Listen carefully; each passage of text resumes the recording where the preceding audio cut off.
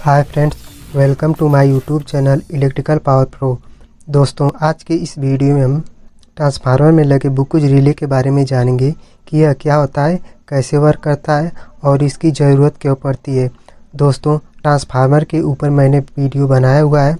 अब हम ट्रांसफार्मर में लगे सभी पार्ट्स के ऊपर एक एक वीडियो के माध्यम से जानेंगे। तो यह पहला वीडियो है बुकुज रिले पर। तो चलिए हम बुकुज रिले को विस्तार से जानते हैं। दोस्तों बुकुज रिले एक सेफ्टी डिवाइस है। यह ट्रांसफार्मर के सेफ्टी के लिए लगाया जाता है।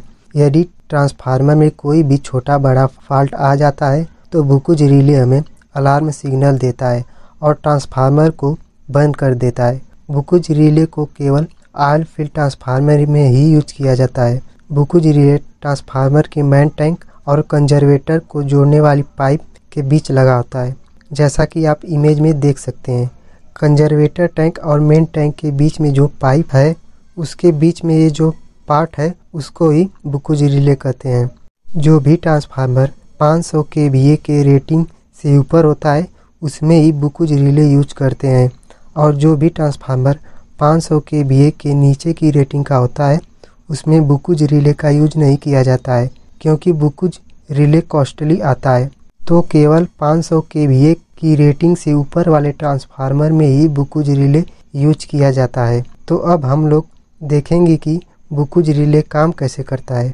बुकुज रिले के अंदर पूरा मैकेनिकल कंस्ट्रक्शन होता है। उसके अंदर कोई भी इलेक्ट्रॉनिक या इलेक्ट्रिक सर्किट नहीं होता है। मतलब बुकुज रिले पूरा मैकेनिकल वर्क करता है। दोस्तों, जैसा कि आप इमेज में देख रहे हो, बुकुज रिले के ऊपर एक एरो बना हुआ है। ये एरो इंडिकेट करता है कि बुकुज रिले का कौन सा साइड मेन टैंक में कनेक्ट होगा और कौन सा साइड कंजर्वेटर टैंक में कनेक्ट होगा। जिस साइड एरो का डायरेक्शन है, उस साइड कंजर्वेटर टैंक कनेक्ट होगा और जो दूसरा साइड है, उसको हम मेन टैंक से कनेक्ट कर देंगे। तो अब हम लोग बुकुज रिले के अंदर के कंस्ट्रक्शन को देख लेते हैं।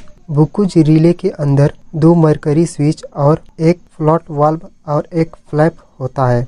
ये चारों मेन पार्ट्स होते हैं। इसमें से ये फ्लॉट अलार्म सर्किट के लिए और जो दूसरा फ्लैप है, वह ट्रिप सर्किट के लिए यूज़ होता है। एक मरकरी स्विच अलार्म वाले फ्लॉट पर कनेक्ट रहता है और जो दूसरा मरकरी स्विच है, वह ट्रिप सर्किट वाले फ्लैप पर कनेक्ट रहता है। इन दोनों मरकरी स्विच का आउटलेट हम लोग बुकुज रिले के बाहर देते हैं, जैसा कि आप इमेज में देख सकते हैं। ऊपर वाला जो स्लॉट है, वो अलार्म सर्किट के लिए है और जो नीचे वाला स्लॉट है, वह सर्किट ब्रेकर के लिए है। तो दोस्तों, अब हम लोग देखेंगे कि बुकुज रिले कैसे वर्क करता है।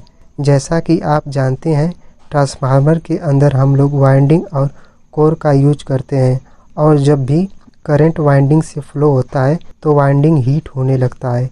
ये हीट करंट के ऊपर डिपेंड करता है कि कितने अमाउंट में करंट फ्लो हो रहा है। अधिक मात्रा में करंट फ्लो होने पर वाइंडिंग जल्दी गर्म होने लगती है, जिससे इंसुलेशन और वाइंडिंग जलने के चांसेस रहते हैं। तो इंसुलेशन और वाइंडिंग को जलने से बचाने के लिए हम लोग ट्रांसफार्मर में आयल का यूज़ करते हैं। ये आयल ट्रांसफार्मर को ठंडा रखता है और वाइंडिंग के बीच इंसुलेशन का भी काम करता है। ट्रांसफार्मर जब नॉर्मल लोड पर होता है तो उसके अंदर कम हीट उत्पन्न होती है और उस हीट को ऑयल एब्जॉर्ब कर लेता है। और जब भी ट्रांसफार्मर फुल लोड पर होता है तो हीट ज़्यादा जनरेट होती है और उसके वजह से ऑयल भी ज़्यादा हीट होने लगता है और ऑयल का लेवल भी बढ़ने लगता है। क्योंकि जब ट्रांसफार्मर ऑयल ठंडा होता है तो वह कुछ गाढ़ा होता है और जब गर्म होता है तो वह पतला होकर फैलने लगता है और उसमें से हाइड्रोजन गैस बनने लगती है।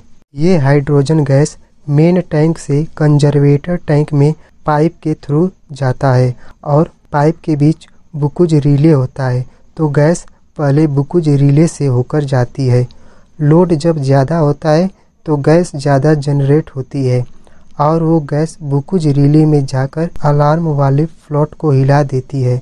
उसके वजह से जो फ्लॉट है, वह झुक जाता है और उस पर कनेक्टेड मरकरी स्विच का कनेक्शन कंप्लीट हो जाता है और अलार्म बजना स्टार्ट हो जाता है, जिससे वहाँ के इंजीनियर लोड को दूसरे ट्रांसफार्मर पर दे देते हैं। ये तो रही लोड 100 परसेंट के नियर अबाउट कंडीशन में। बट जब भी दोस्तों ट्रांसफार्मर में कोई छोटा फॉल्ट क्रिएट होता है, जैसे कि लीकेज करंट का ज़्यादा हो जाना या कोर में कोई फॉल्ट हो जाता है, तब भी हीट जनरेट होता है और गैस बनती है और वह वैसे ही अलार्म सिग्नल देता है, जैसा कि मैंने पीछे बताया। अब समझते हैं थर्ड कंडीशन को।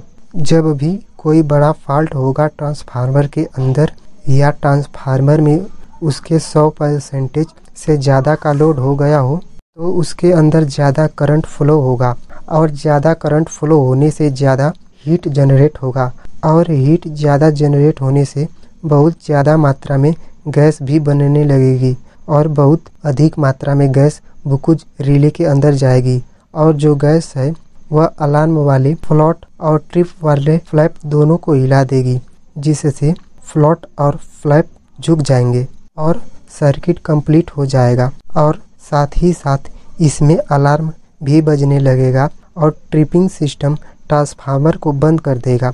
तो अगर ट्रांसफार्मर में कोई फॉल्ट होता है तो वाइंडिंग जलने से पहले ही बुकुज रिले एक्टिवेट हो जाता है और सर्किट ब्रेकर को ओपन कर देता है, जिससे हमारी वाइंडिंग जलने से बच जाती है और हमारा इंसुलेशन भी नहीं जलता है।